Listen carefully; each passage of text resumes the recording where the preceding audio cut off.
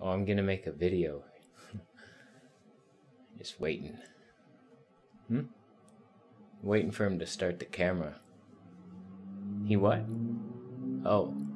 Oh, it's rolling now? then I'm an idiot.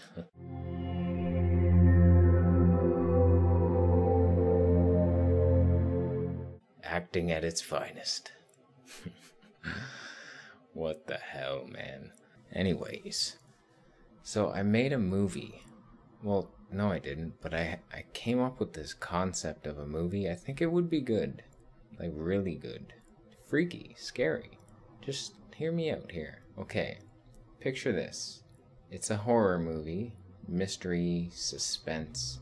There's this town, freaky town, and this man. He's been asleep for thousands of years. Cryogenic awakening.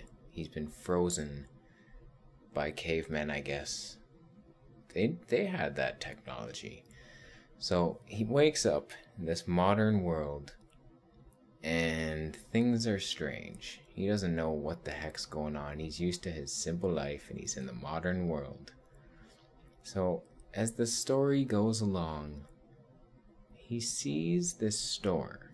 People are going into this store and they sell chopped up dead bodies and people are buying them. And he's looking at it like, what the fuck? They're buying. What are they doing with it? In the whole movie, he's just investigating. He's looking at people like, what the hell? With disgust. And they're just taking it home, and he can't figure out why. Like, what could you possibly do with it?